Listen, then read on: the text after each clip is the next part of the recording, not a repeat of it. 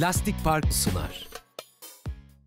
Lastik Park'ın sunduğu Game Night'a hoş geldiniz. Hoş geldin Murat abi. Hoş bulduk. Nasılsın? Nasıl bir haftaydı? İyi diyelim iyi olsun.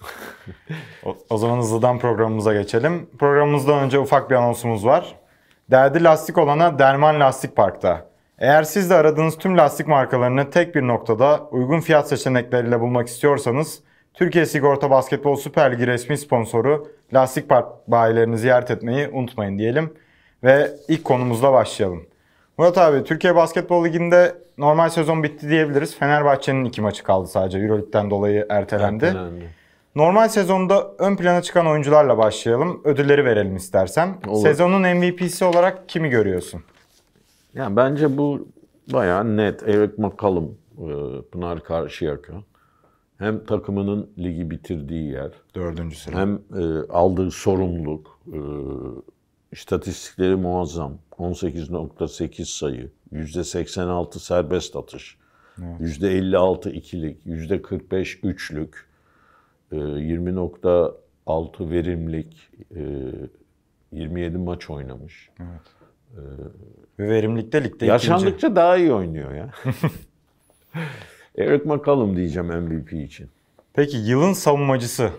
Aklına gelen bir isim Ya var mı? bunda abi? bunda bayağı zorlandım şu açıdan. Ya şimdi genelde e, yılın savunmacısı pivot oluyor. Amerika'ya da baktığın zaman işte Rudy Gobert e, dördüncü kez kazandı. E, Mutombo dört kez kazanmıştı. Ben, Wallace dört kez kazanmıştı.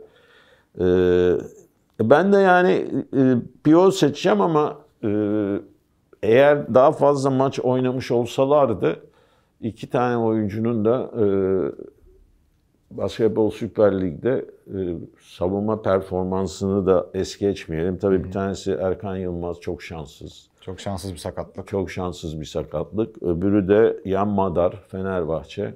Er- Erkan Yılmaz da Anadolu Efes.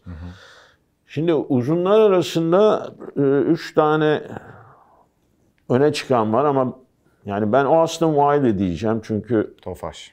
neredeyse iki blok, e, 10 küsür rebound, 10.1. Jonathan Hamilton Bursa'da e, Acayip bir çıkış o da. o da müthiş bir çıkış yaptı.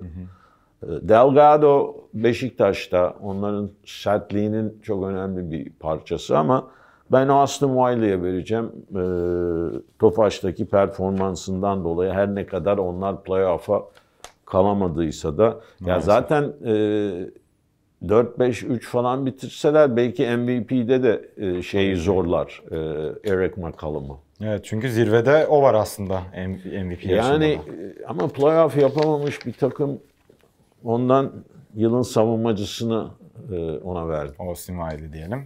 Peki Murat abi yılın koçu dediğimde kim aklına geliyor? Ya şimdi burada e, şöyle bir şey var. E, Hem Efes'te hem Fenerbahçe'de e, gerçi Tomislav Mijatovic asistan da ama Tabii. belki kadronun kurulmasında fikri alındı, görüşü alındı, katkısı oldu.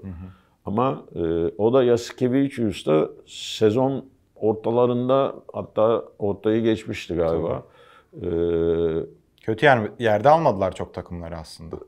yani ikisi de bence e, tabii Yasikevicius e, Euroleague'de bence e, koçun yılın koç adayı. Yani e, hakikaten yani e, muazzam bir iş çıkardı yani.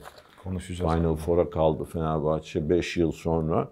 E, Burak Gören, Ali Petkim İlk kez playoff. ilk kez değil mi? Evet. İlk kez playoff yaptı. Onu da burada e, unutmamak lazım. Tabii.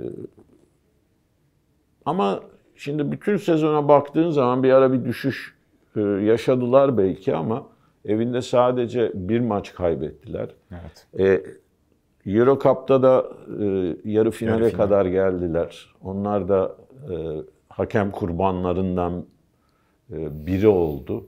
E, ondan ben e, Dusan Olimpiyevic'i seçeceğim Beşiktaş. Galiba anlaşmış da galiba. E, O tarz haberler var abi. Resmi bir şey olmasa da evet. Ee, yani onun hedefi eninde sonunda tekrar Euroleague'e dönmek ama hem bu sene Euro Cup'ta hem de ligde e, çok da şey bir kadrosu yok. Yani Türklere çok e, şans veriyor.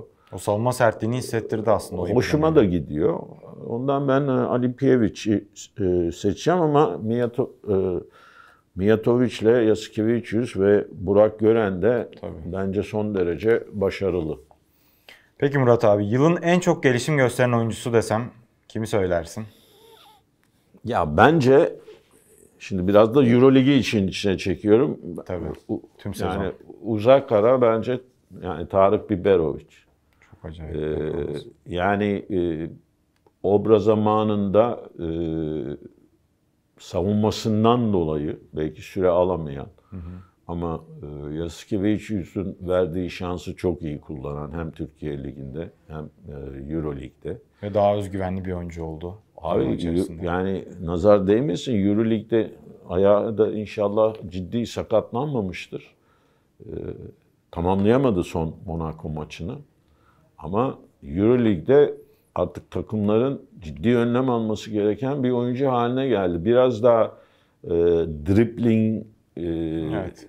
yani biraz daha ufalsa dribbling yaparken ama e, step back atıyor, ceza atışı atıyor, dribbling üzerinden atıyor. Ondan ben Tarık Biberovic diyeceğim ama tabii şeyi de unutmamak lazım. Kerem Konan'ı. O da iyi bir Ee, sezon geçirdi. Beşiktaş'ta 19 yaşında bir de. Yani Tarık'tan 4 yaş e, daha ufak. Valla inşallah e, yani Beşiktaş Alperen'i yolladı. E, Kerem de o noktalara yaklaşır çok çalışarak. Daha İnşallah. önünde bir süresi var. Ama e, bilmiyorum atladığım başka oyuncu var mı ama en çok dikkatimi çeken O ikili olabilir. o ikisi oldu. Ee, tabii burada yine Olimpiyevic'in de ona güvenmesi çok önemli. Ve abi maç sayıları geçen seneye göre çok artmış. Geçen sene sadece 7 maç oynamış. Bu sezon 29 maçta süre almış. Evet, evet. Konan. Evet.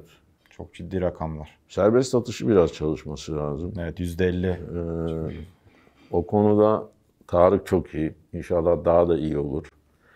Milli takım için de önemli. Çünkü Tabii ki. hakikaten biz yani serbest atış çizgisinden kaç tane Amerika maçları. maç kaybettik. Başta Amerika maçı olmak üzere.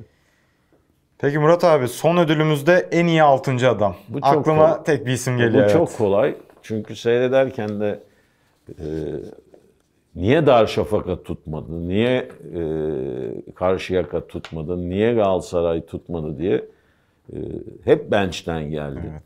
Tabii ki her maçı seyredemedim ama hep bir katkı yaptı. 3 sayı tehdidi var, sert oynuyor. Ee, yani 17,5 dakikada 9.1 sayı, 4.8 rebound, 1.8 asist, e, %78 serbest atış, 56 ikilik, e, %40 da Üçlük. üçlük. Çok iyi rakamlar. Mahir Ağla.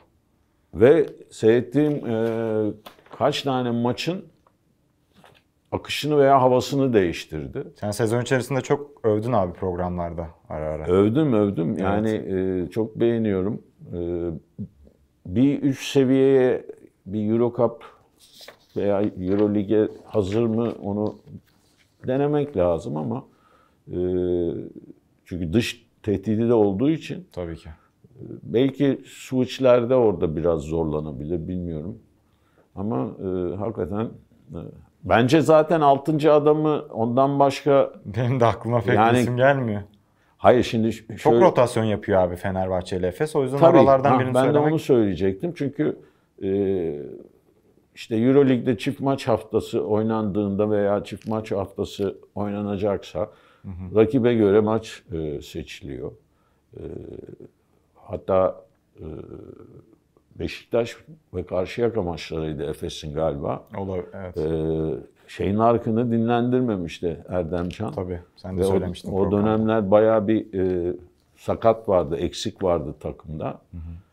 Yani ligde yani tamam önemli ama Anadolu Efes veya Fenerbahçe bu takımı lig için kurmuyor ki. Evet, Yani Final Four için var. kuruyor. Ee, zaten lig için kursa bu kadar yabancı taşımaz ama Tabii. geniş ve e, kaliteli bir rotasyonun yoksa EuroLeague'de hemen hemen hiç şansın yok. Hatta belki ikisinin de rotasyon genişliği e, Euroleague için geçerli değildi. Her ne kadar Fener e, Final Four yapmış olsaydı.